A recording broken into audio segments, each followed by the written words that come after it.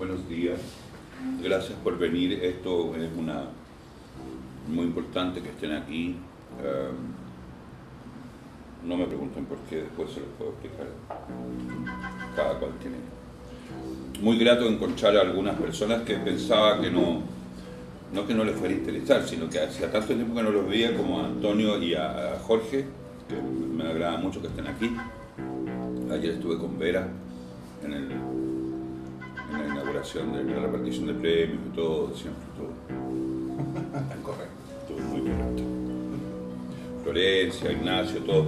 Entonces, bueno, simplemente la, la, el objeto es presentarles ya no la web de, del EPE, que ya lo hicimos eso hace un tiempo atrás, sino la web del SEDA.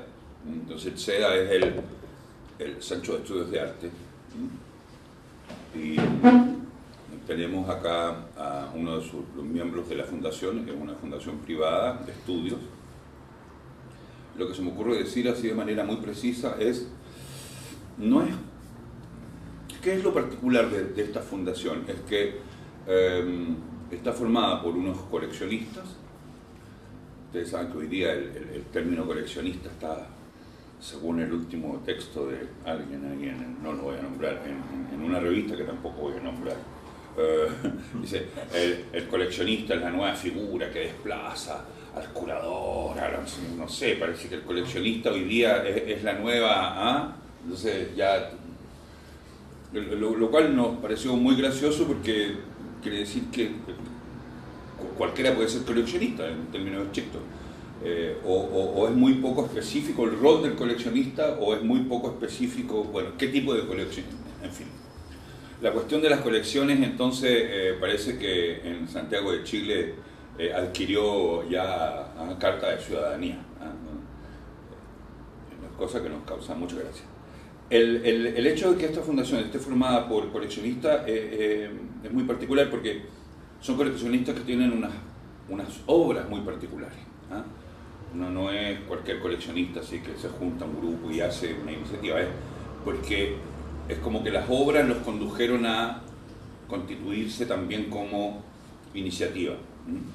Y, son obras eh, que a nos, nosotros consideramos que son claves en la historia del arte chileno contemporáneo. Entonces, Um, esas obras son las que mandan la necesidad de tener una fundación que las estudie y las ponga en valor. Porque en, general lo que se hace es eh, una buena catalogación, en fin, pero la noción de poner en valor es establecer unas conexiones que estas obras tienen con eh, su contexto ¿ah? y el contexto de, de producción de, la, de las obras mismas. ¿ah? de las piezas, hablemos de las piezas en particular. Entonces, eh, por ejemplo, hay un coleccionista que tiene tres obras de Gonzalo Díaz, ya. Entonces, eh, pero, pero corresponden a, se las voy a decir, corresponden a son dos láminas de kilómetro 104, son Lonquén, y luego una que tiene un nombre muy largo que es la de eh, buscamos los incondicionados y solo encontramos cosas, una, una, la cita de Chile, y que es esa muy bonita que es hecha en hilo cantal sobre eh, un, un, soporte de, ladrillo refractario, larga, que hay que preparar todo con conexiones eléctricas para que resista, se apaga, se prende, entonces, incandescente. Esas tres obras entonces uno dice, bueno, está bien, podrían echar en una lista con una buena catalogación, así con sus características y todo. No, lo que eh, queremos poner en valor es el hecho de decir, bueno, solo hay dos láminas del kilómetro 104, hay otro coleccionista que tiene otras dos, ya tenemos cuatro, pero esas cuatro están hechas todas sobre papel, es decir, son el residuo de la eh, edición original, porque la edición original no existe nadie lo ha dicho, nadie lo ha escrito, en fin. Entonces, la, la, la, el interés de trabajar sobre el kilómetro 104, en ese caso es decir, bueno, uno, ¿por qué existe eso? ¿Por qué solo sobre papel? ¿Quién la hizo? ¿En qué momento? ¿Bajo qué condiciones? ¿Cuáles eran las... cuáles eran, disculpen, la, los intereses del propio Gonzalo Díaz, eh, icónico, su pasión por la serigrafía, qué le armó el equipo, que son cuestiones que aparentemente son anecdóticas, pero les vamos dando ese soporte mm, que convierten entonces la, la, producción de la pieza en un gran acontecimiento. ¿ah?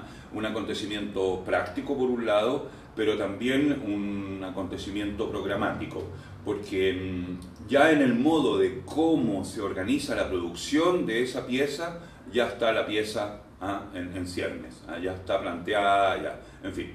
Y eh, el hecho es que esa pieza se perdió. Fue a Buenos Aires y en el regreso se perdió. Una historia más larga, pero se perdió. ¿Y, qué es lo que quedó? Fue aquellos restos que ubican cuando uno tiene un equipo de producción eficientísimo y está imprimiendo y pasando y además tiene cosas al lado. Siempre hay como restos, ¿ah? de restos de obra. Y eso es muy interesante. Bueno, lo único que sobrevive de, de Kilómetro 104 son esos restos de obra. Y que llegaron a manos de estos coleccionistas y las tienen. Entonces, eh, uno dice, no, no es la obra, pero es la obra. ¿Y qué pasó con lo otro? ¿Y bajo qué En fin. Es como hacer la historia de las obras. vuelvo a decir la palabra pieza. Es hacer la historia de las piezas. Y lo mismo ocurre con Lonquén. Entonces reconstruyeron Lonquén, en fin. Y, bueno, pero ¿qué significó Lonquén?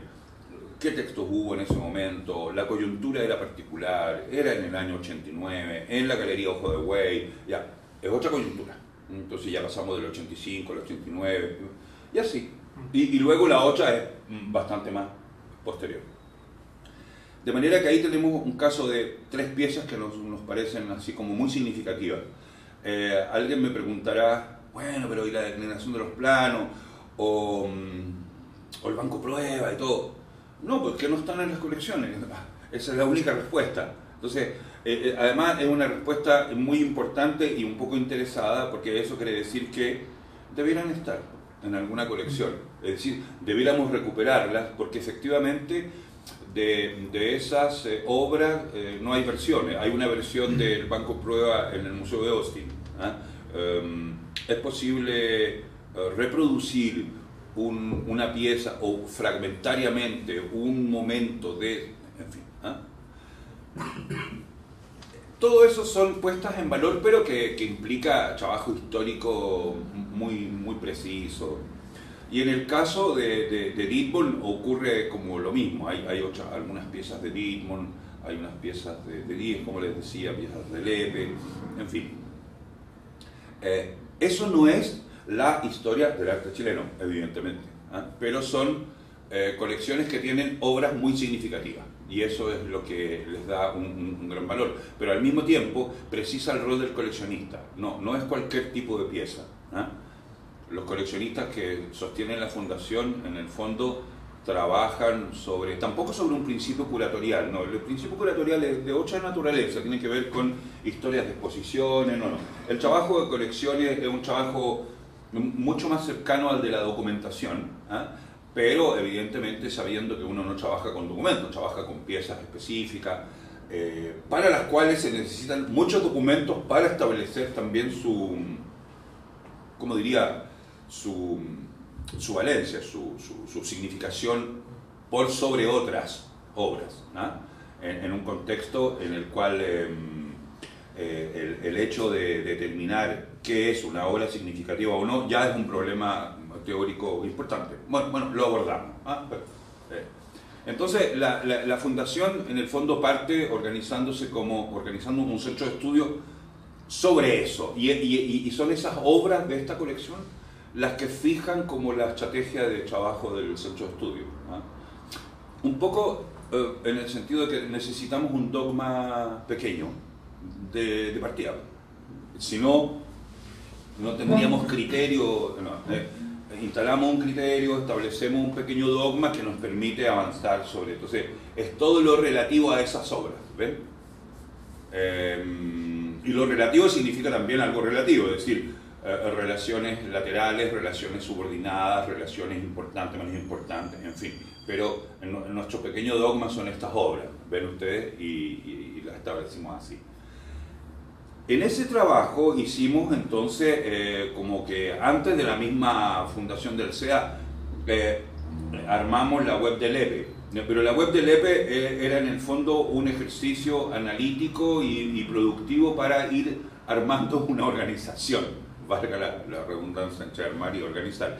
Eh, entonces, lo, del EPE también fue marcando un modo de trabajo, y el modo de trabajo era la pieza, ¿ah? historia de las piezas. Em, en parte porque queríamos satisfacer una, demanda que, existía eh, un poco implícita, eh, era que del EPE conocíamos un poquito de fotos, entonces muy pocas obras y fotos, eh, más o menos aisladas.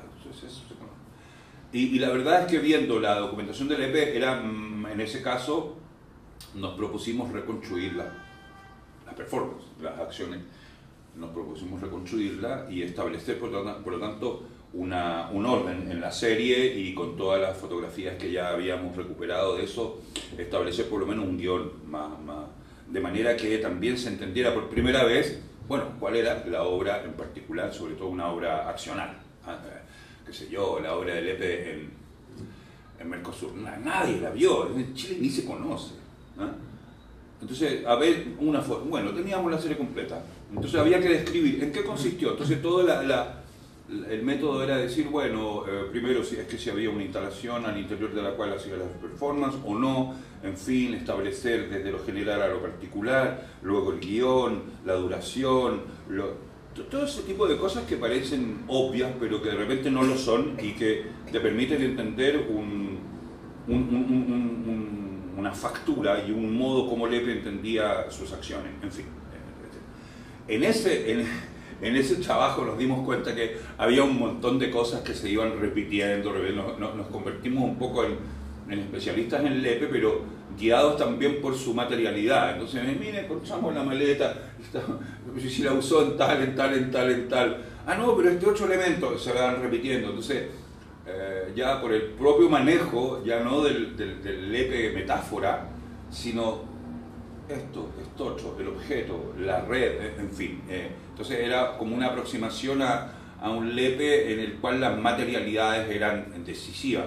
Y de repente tú te das cuenta que esas materialidades en el trabajo de Dittmund también son decisivas. Y, eh, entonces, en el trabajo del SEDA, un poco uno dice, ah, estos tipos se dedican a la materialidad de las obras, ah, y ese es su, su, pequeño dogma inicial. Sí, un poco así. ¿ah? de, pero eso viene por la proximidad que tenemos con una colección, porque la, colección te obliga a ir al objeto, a la pieza. Y cuando tú tienes una pieza, eh, de repente sabes perfectamente cuál es la pieza faltante. O te armas imaginariamente un contexto en el cual dice, ah, tengo esta pieza, pero la verdad es que esta pieza, esta pieza se valoriza por los huecos que significa, o por aquellos huecos o lapsus a los que me permite acceder. ¿Será posible acceder? ¿Dónde está el resto? No, si ya no existe. Ah. es como el sino. Y en otros casos sí existe y se encuentra. Entonces se va armando las, vecindades, como, como cuando Warburg eh, juntaba sus libros, eh, las buenas vecindades de los libros. Entonces, en este sentido son las buenas vecindades de las piezas. Unas piezas llaman a otras y así establecen como relaciones de relativa familiaridad.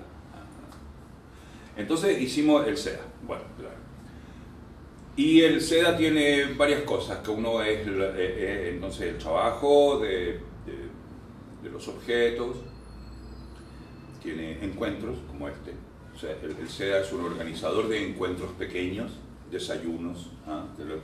pero son encuentros en donde comunicamos pequeñas cosas, pero al mismo tiempo eh, algunos encuentros van a ser un poco más conceptuales, otros menos, otros más informativos, pero siempre en relación a, este pequeño dogma, como les decía.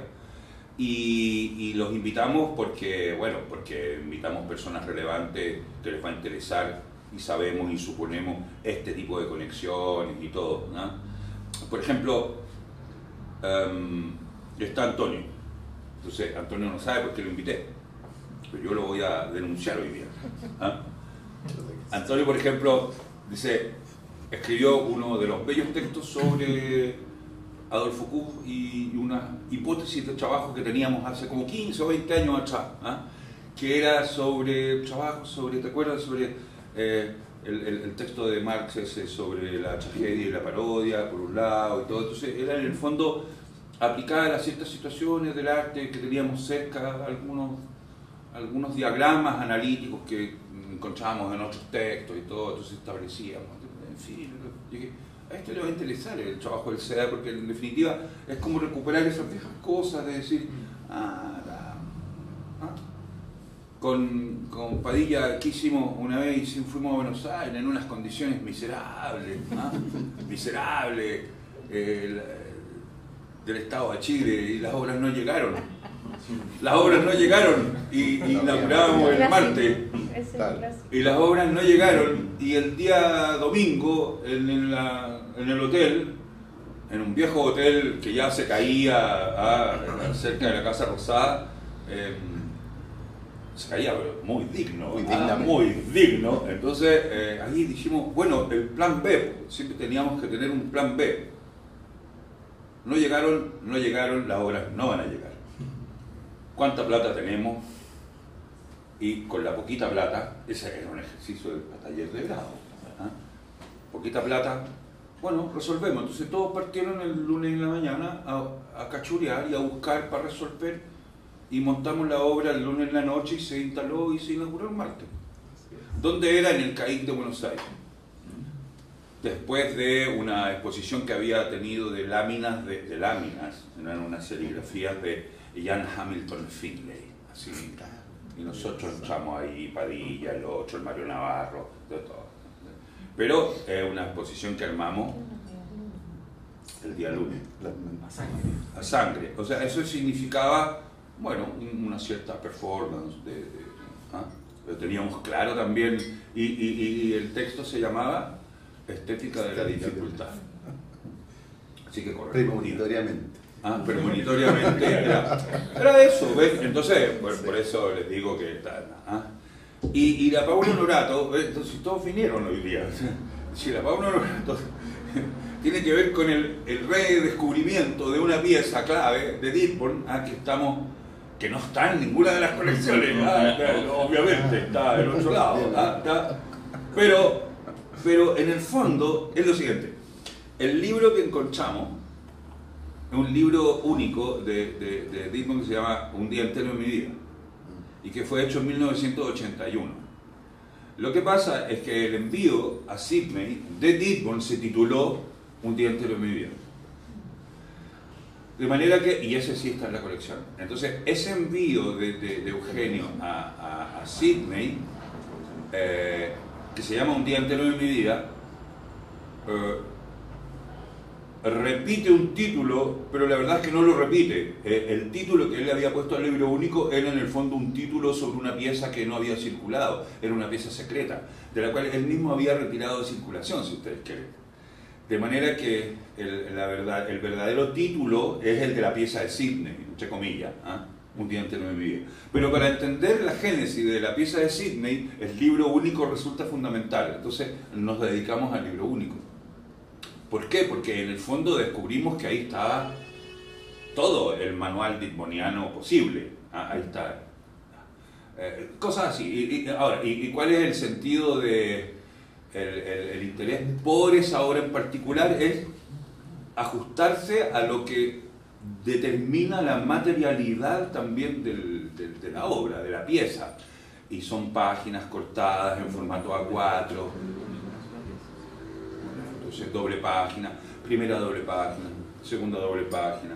Y ahí aparece por primera vez el relato eh, que él usa y que es un relato que él encuentra en, en, una, en un número del Reader Digest de abril del 81 que se titula Borrón y entra nueva y que son cinco líneas y dice um, una madre que cuenta que su hijo llega con la camisa enteramente manchada y le dice, Miguel, ¿qué has hecho con tu camisa?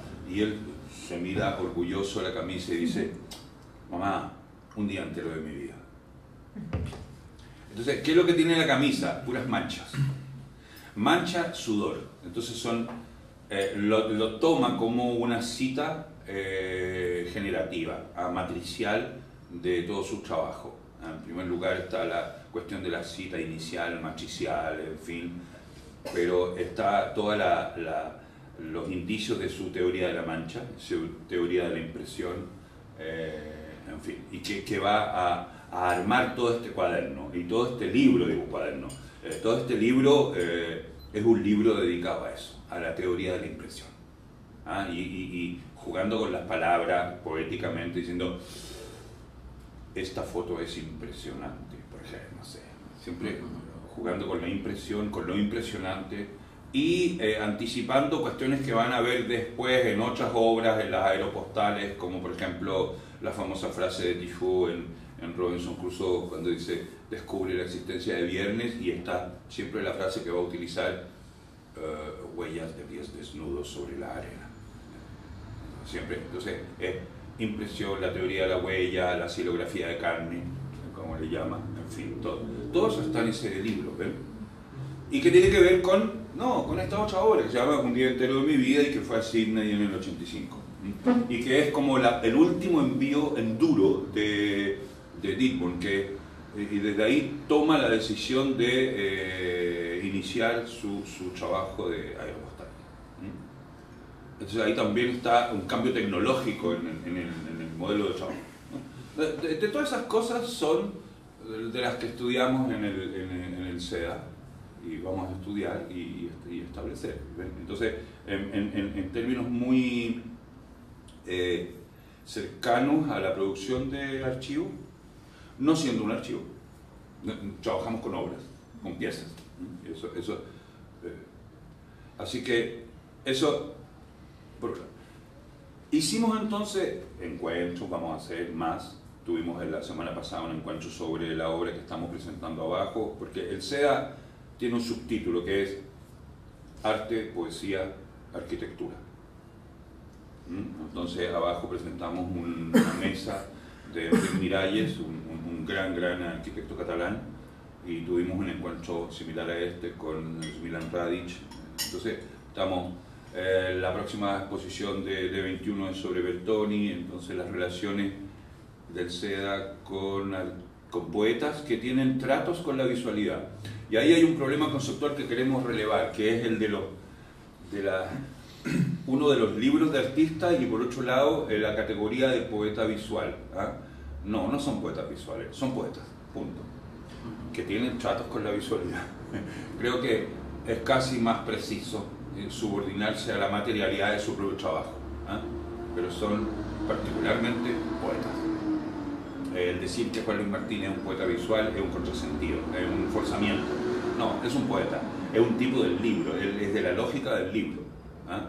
Otra cosa es el tipo de libros que hace. Sí, está bien, hay que echar ahí.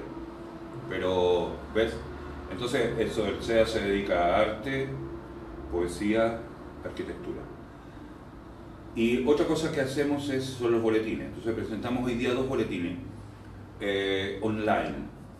Va a haber, el primer boletín lo vamos a imprimir. Eso va a ser otro encuentro, con otro público.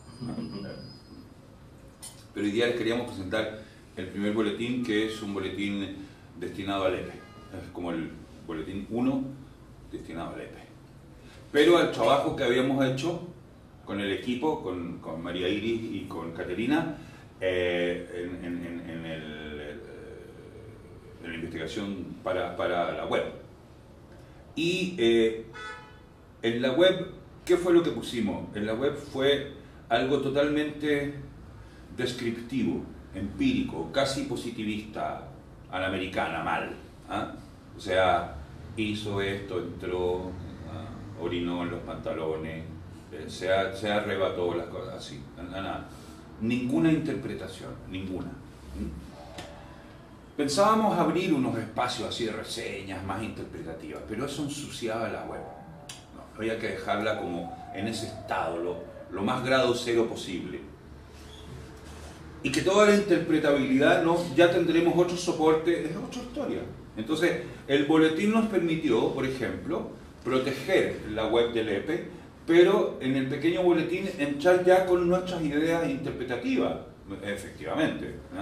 Entonces hay un, un, texto, pero interpretativas también en función de lo que habíamos hecho sobre el EPE. Entonces también había ahí una, una decisión tomada, implícita. Entonces yo hice una cosa sobre la coyuntura del 80-81, porque empezamos a manejar tanta información del EP que al final uno establece como zonas de mayor relevancia, que son también zonas de mayor relevancia aparente. A nosotros nos importaban el trabajo analítico, si ustedes me podrían discutir, no, pero sí, tienen todo el derecho. Pero no, no, no, nos llamó mucho la atención como la, a mí en particular, la coyuntura del 81. Ah, hubo obras así, una tras otra, en, debate con Dickborn, directos. ¿ah? así. Entonces, eso teníamos que eh, ofrecer los elementos, pero el trabajo más interpretativo lo íbamos a hacer nosotros en otro soporte. Y eso fue lo que hicimos en este boletín. Entonces, yo hice como un, un, mapeo de la coyuntura del 81 y eh, María Iris y Caterina se dedicaron a, recoger una cuestión que nadie había recogido, que era, por ejemplo, la secuencia de acciones del EPE entre Madrid del 87, Trujillo del 87 y Berlín del 89. Ahora, claro, es porque teníamos los elementos en la mesa y, los estábamos trabajando y decíamos, pero mira, eh, son, es exactamente la misma matriz, es el mismo guion, eh, hay, hay, algo raro que ocurre aquí, hay una persistencia de... Entonces, María Iris se dedicó a, a trabajar sobre, sobre el modo como Lepe había llegado a Madrid, cómo arma la instalación en Madrid, que quizás sea de las instalaciones más, voy a usar una palabra asquerosa, de, las instalaciones más bellas del Lepe, pero la hace en Madrid.